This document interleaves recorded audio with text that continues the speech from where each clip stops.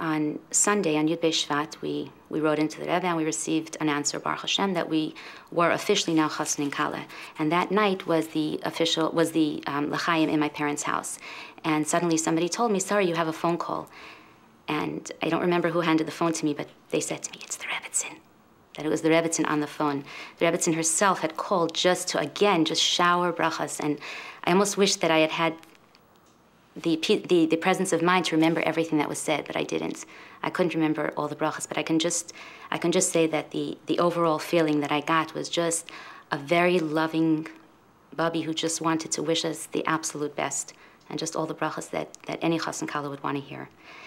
And right after that, my father had hoped to be able to arrange a time when I could go with my chassan to introduce him to the. Um, but we were told that we'll have to wait till the Rebbetzin feels better. And of course, this was 10 days before Chaf Shvat, so it didn't, it didn't happen. We did manage to send some pictures from the L'chaim that night that I was told Rebbetzin enjoyed seeing, but um, more than that, we didn't have the opportunity. The night of Chaf Shvat, my father was with the Rebbetzin on the way to the hospital.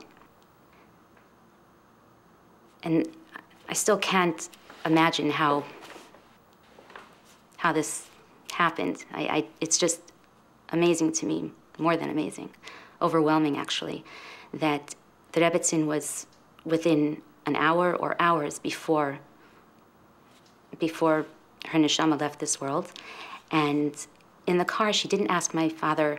Um, so tell me, doctor, what do you think the doctors are going to say at the hospital? So what do you think the prognosis is? Will there be a treatment? Will there be a procedure?